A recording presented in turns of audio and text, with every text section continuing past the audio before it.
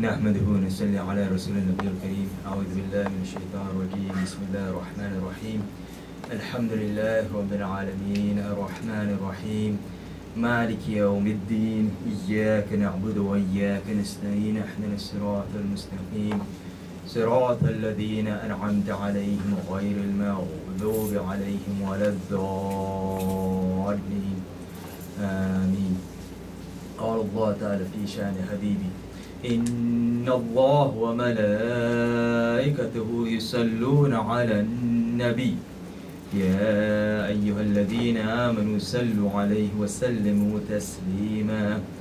اللهم صل وسلم وبارك على سيدنا مولانا محمد طب القلوب ودوائها وعافية الأبدان وشفائها ونور الأبصار وضيائها وعلى آله وصحبه دائما أبدا صلاة وسلاما عليك يا سيدي يا رسول الله صلى الله عليه وسلم Last week we were talking about the princess of Rasulullah sallallahu Bibi Fatima, salamullah alayha. Uh, and there are certain things that I mentioned that I didn't have time to clarify on last week, so we'll clarify some of those before we move on. One thing that I mentioned was that she, you know, when she went to Abu Bakr, she didn't take anybody else other than the uncle of Rasulullah, Hazrat, uh, Hazrat uh, Abbas.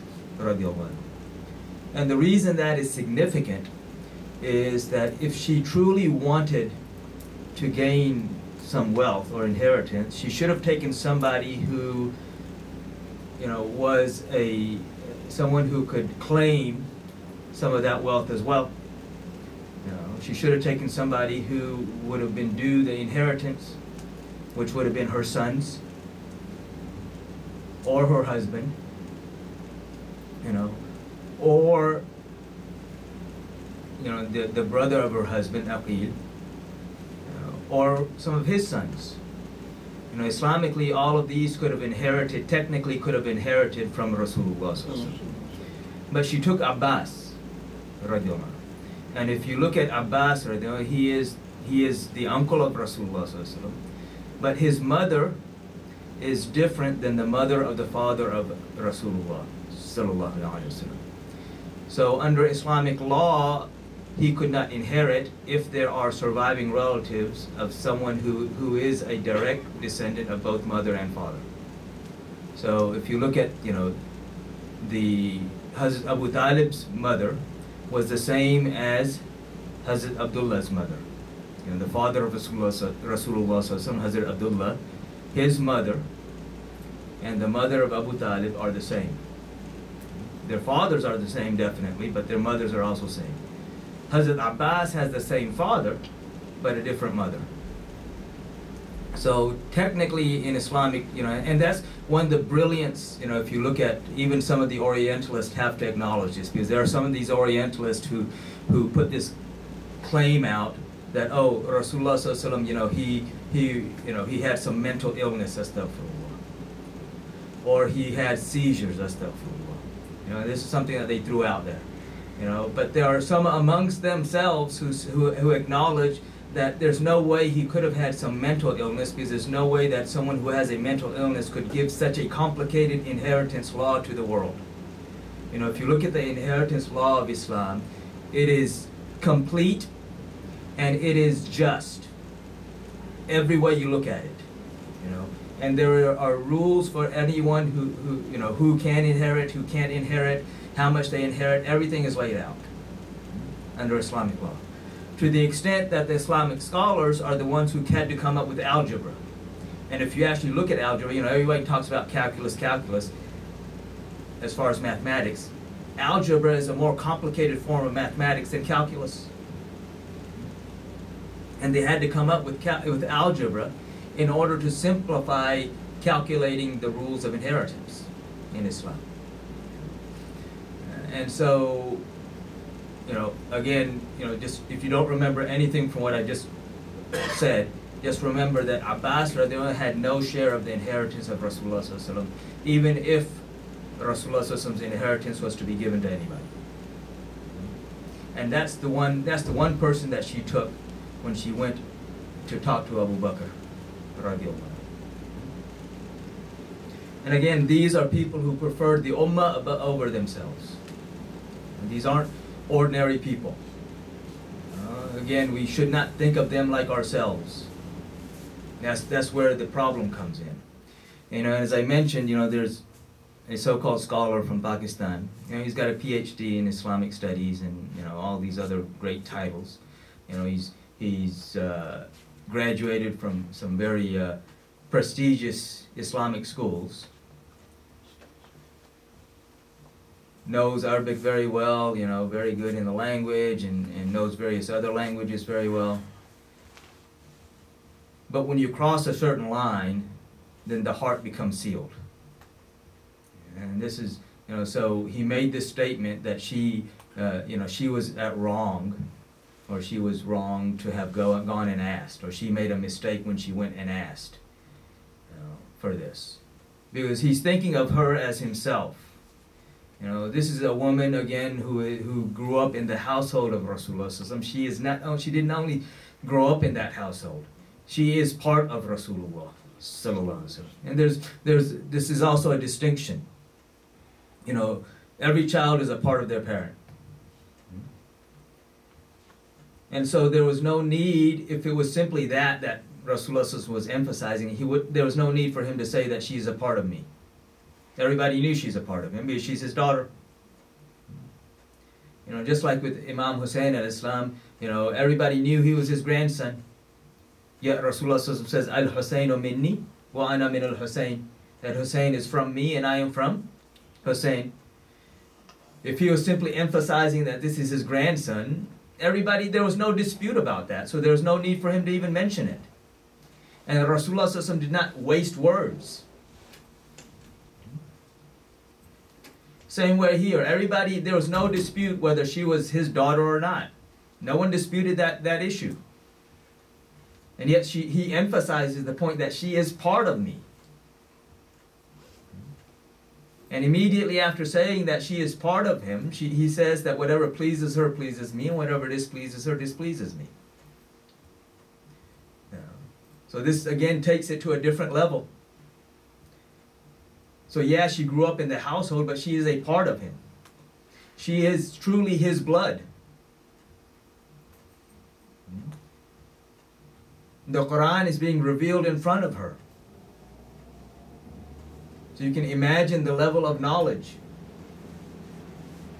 She's not like us, that she's doing something and she doesn't know what she's doing. You know, even when Ali radiallahu was asked during his khilafah about certain things he did, he said that I do not do anything except under the guidance of Rasulullah sallallahu alaihi wasallam. And this is Bibi Fatima salamullah alayha. She did not do anything other than under the guidance of Rasulullah sallallahu alaihi wasallam. And these are things that we need to remember. You know, and this is where, you know, when we look at Surah Adab, Surah Hujurat, Surah number 49, and the first verse, and uh, the first two verses, they, both of them start off with Ya ayyuhalladhina amanu. And, you know, we look at these verses and it says, أعوذ بالله من الشيطان الرجيم بسم الله الرحمن الرحيم يا أيها الذين آمنوا لا تقدموا بين يدي الله ورسوله واتقوا الله إن الله سميع عليم you know, O you who believe, do not go ahead of Allah and His Messenger. And you know, the thing though is, you know, when you think about it, okay, don't go ahead. You know, you we, we think of it in physical terms. Of simply, okay, going ahead of the messenger, walking in front of him. But in the end of the verse, Allah, subhanahu wa ta'ala says, samiyun alim. He doesn't say basirun alim. He says, and Allah is hearing and knowing. Hmm? Meaning, you know, don't say something about the messenger وسلم, that tries to put you ahead of him. Hmm? And then the next verse, yeah, it also starts out with Ya ayyuhalladhina Oh, you who believe. So again, these aren't verses being addressed to the disbelievers. These are being addressed to those people who claim to say La ilaha illallah Muhammadur Rasulullah. Those who people who know that Muhammad ibn Abdullah wasallam is truly the messenger of Allah. Hmm? And so it's Ya ayyuhalladhina amanu la tarfa'u aswatakum فوق صوت النبي ولا تجهروا له تجهروا له لقول جهركم لبعضكم لبعض أن تحبط أعمالكم وأنتم لا تشعرون O you who believe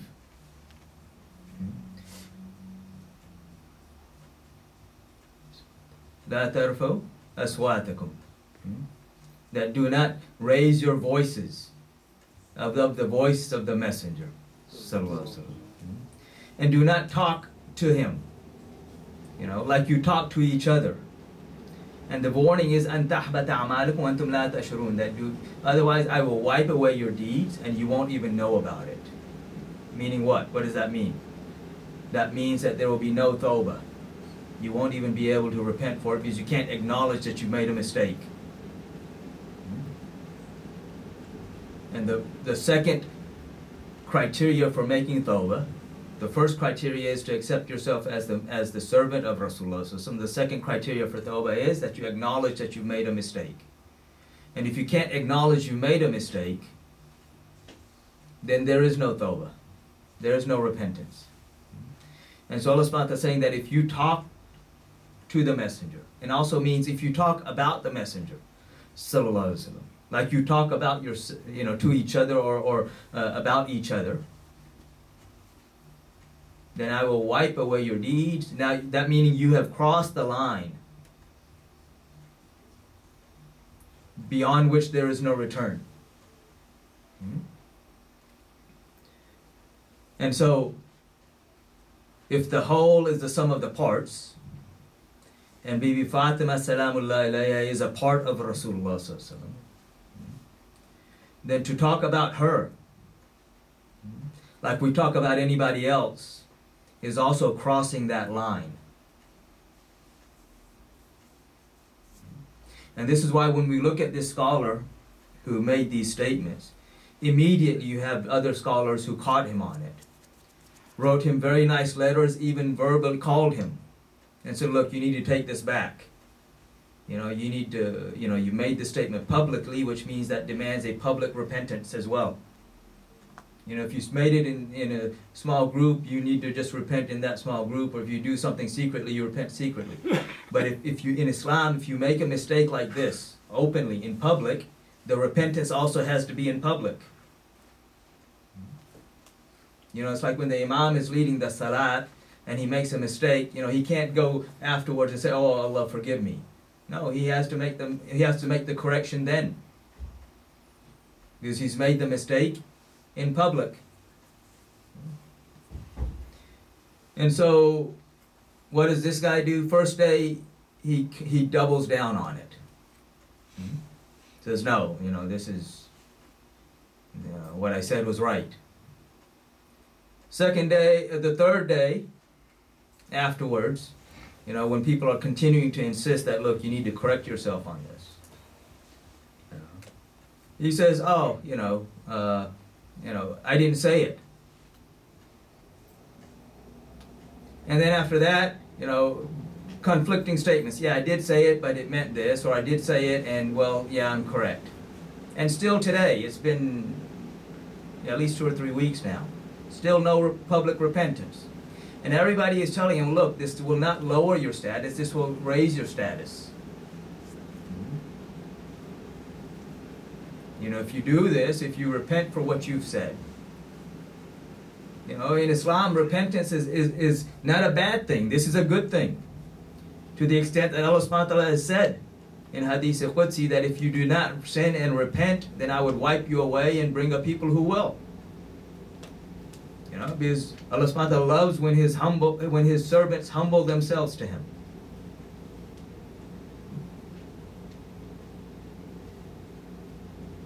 But the fact is that once you've crossed that line, then Allah subhanahu wa ta'ala seals the heart. See, it's one thing if someone who didn't know made this statement. you know, for him, the door of repentance would remain open. You know, it's like non-Muslims talking against the Rasulullah and they eventually later on they become Muslim. Why? Because, you know, they didn't know when they were saying what they were saying. But it's another thing when you're supposed to be so learned and such a scholar,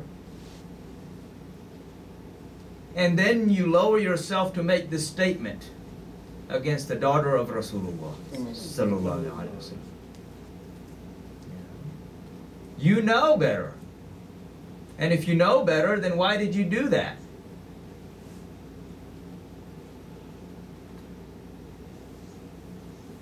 And it's also a different thing, okay, you know, you're talking and in the heat of the moment, you know, some words come out and you just kind of, you know, you say something.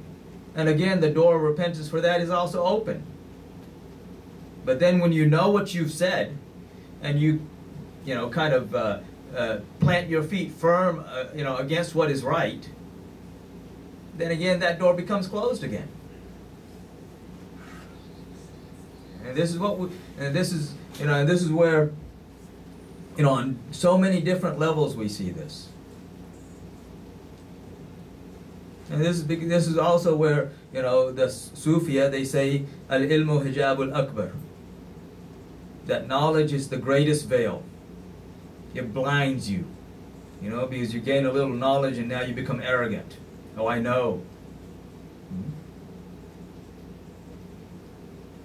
And now you want to challenge those who truly knew.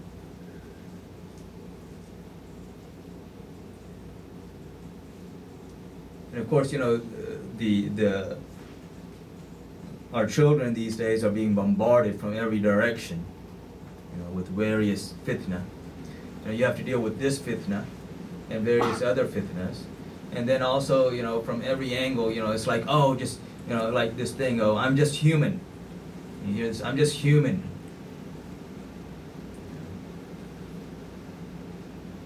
and what they mean by that is i'm, I'm only human means that oh I'm, I'm human but i'm not nothing else means that religion and nothing else matters.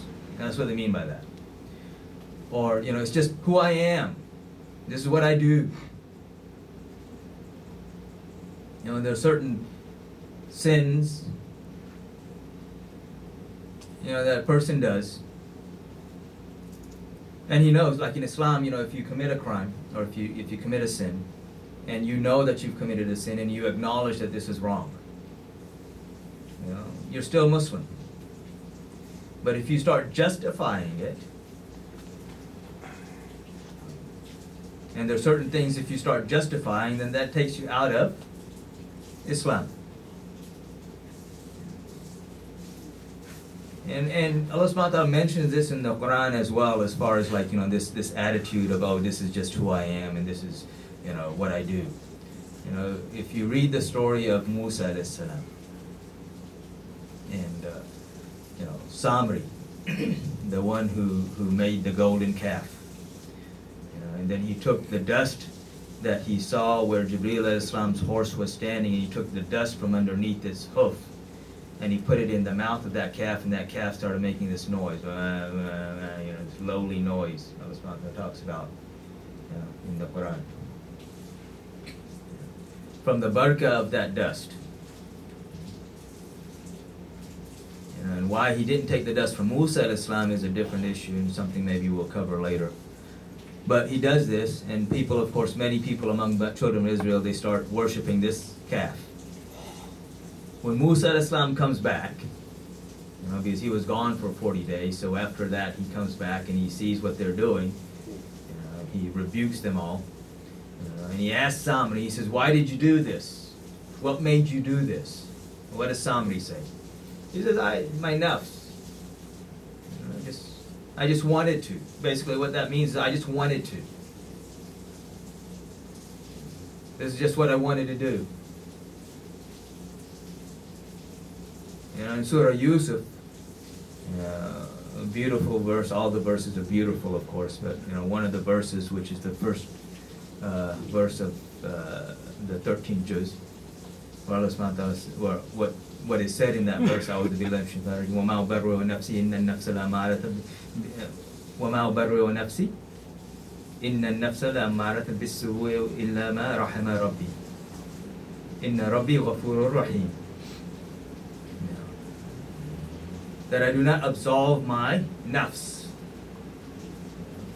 Nafsa la ammaratun bisu. That truly the nafs, you know, is persistently pushing you toward evil. Illa ma rahima rabbi. Except for the one upon whom my Lord has mercy. Inna rabbi ghafurur rahim. Indeed, my Lord is forgiving and merciful. You know, in Surah Wat-Teen, you know, Allah subhanahu wa ta'ala talks about, you know, mankind being created from the best of molds. And then he says that he's lowered to the lowest of the low. And then, إِلَّا الَّذِينَ آمَنُوا وَعَمِلُوا الصَّالِحَاتِ You know, except those who have belief and iman, amanu, iman, which is what? The love of Allah and His Messenger. So those who have this, and along with that, they do the righteous deeds because that love pushes them to do the righteous deeds. So the nafs, the nature of the nafs, you know, the self, like when Samri, he says, when Musa asked him, what made you do this? He says, my nafs, you know, myself. So the nafs is continuously pushing us toward what is wrong. except upon whom Allah has mercy. But He also tells us who He shows His mercy to. And again, the ones who, who, who attain His mercy are the ones who love His beloved. Sallallahu Alaihi Wasallam. And the ones that His beloved Sallallahu Alaihi Wasallam loves.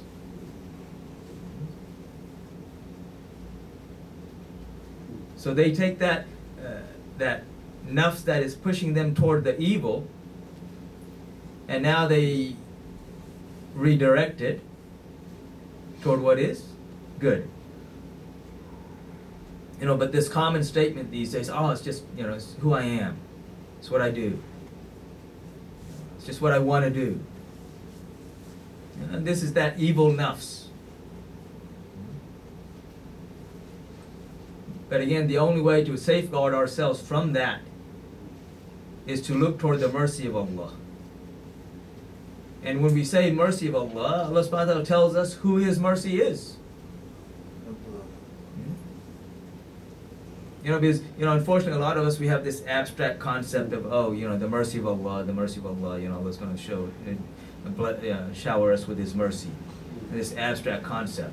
But Allah subhanahu gives us tells us who His mercy is.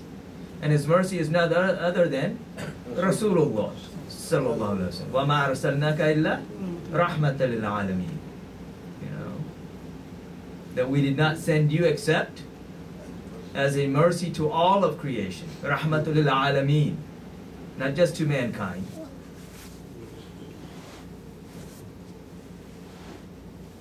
And so this is, you know, we see this, you know, attack not just on our children but on ourselves and on everybody these days. Again, from every direction. You know, it's, it's a net that's cast 360 degrees. And Shaitan, you know, when he was being kicked out of Jannah, and he asked Allah subhanahu wa ta'ala to give him respite, to deceive the children of, of Adam or the progeny of Adam salam. Allah subhanahu gives it to him. And what does he say? He said, I will come to them from their front, from their back, from their right, from their left. You know, it's a 360 degree net. So most people they think, oh, you know, there's no way to escape. But the way to escape is to humble ourselves before Allah You know, to, to bow to our Lord. Mm. And it doesn't have to be a physical bowing here. Of course, in Salat we do the physical bowing, but to bow to our Lord is to humble ourselves to Him. Mm-hmm. And then to look for His mercy to descend. You know, and, and in Sufia, uh, this is what maraqaba is. You know, know what meditation? A lot of people maraqaba, you know, they talk about meditation and, and the concept is something different. You know, maraqaba in in tasawwuf is the annihilation of the self, basically becoming totally empty, except waiting for the mercy of Allah to come. It is it is it is the intizar or the or the uh, the patience, you know, being patient for Allah's mercy to come to descend. Because when you annihilate the self and everything else, what else remains? La ilaha illallah. So if everything is annihilated, the only thing that remains is your Lord.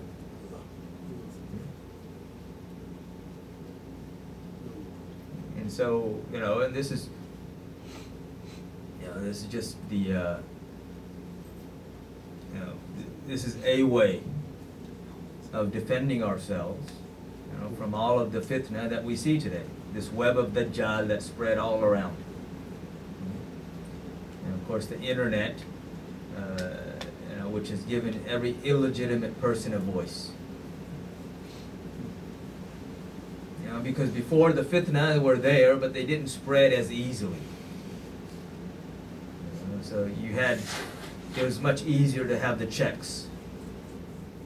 So now anybody can say anything and get a million followers. Just like that. And the more crazy the things you say, you know, the more odd you say things, the more followers you get. You know, it's like I've got three minutes, so in those three minutes, you know, just it's like this uh, this so-called scholar again. This is another so-called scholar uh, from Pakistan. I think he's in Canada now, uh, but. Uh, and he comes up with some of the dumbest things. That, that and people say, "Oh wow, what did he say? It's such a great thing." You know, but if you look at what he's saying, if you truly start analyzing what he's saying, it has no no basis for anything. And, and the interesting, he'll even say it if you, if you even listen to his wording. You know, he says, "Well, in my opinion, this is it." Okay, well, what's your opinion based upon? He doesn't tell you that. He's in my opinion. Okay, well, based on what? Uh, like, you know, he- he's one of those who says that, oh yeah, you know, the moon was split, but Rasulullah Sallallahu didn't split it. So he acknowledges that the, the splitting of the moon occurred, you know, and, and the proof that he gives for his, his argument is, you know, in Surah Qamar, uh, you know, the first verse is, اقتربت الساعة وانشق القمر that the hour is near and the moon is split asunder. So he says, see, you know, this is just a sign for the times, sign for sign of the hour.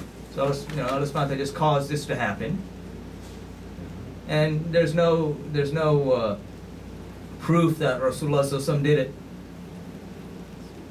Because he knows most people won't even pick up the Quran to read it, and if they do read it, he's already poisoned their mind so they can't even see beyond what he just said.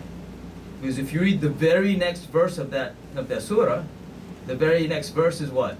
Where Allah subhanahu says, you know, and when they see the signs, talking about the kuffar, that when they see the signs of Allah, they say, oh, this is nothing but evident magic. Sihram mustamir. Evident magic. So, which automatically tells you that even the kuffar of Quraysh attributed this action to somebody. And who was that somebody who came with the signs of Allah other than Rasulullah? You know, because if it's, if it's simply a natural occurrence, and no one says that it's magic, you know, when an earthquake happens, no one says, oh, this is magic. Unless somebody comes out and says, oh, I made this happen. So even the Quraysh, the kuffar of Quraysh had more sense than this, this so-called scholar. So, inshallah, time's up. Uh, we'll talk about something else next week, inshallah. Uh, but, uh, you know, may Allah subhanahu guide us and, and protect us and uh, fill our hearts with His love and the love of His beloved Prophet Muhammad, sallallahu alayhi wa sallam, his family, his companions, and all those who they love, inshallah. Those who have not made sunnah, go and make sunnah, inshallah.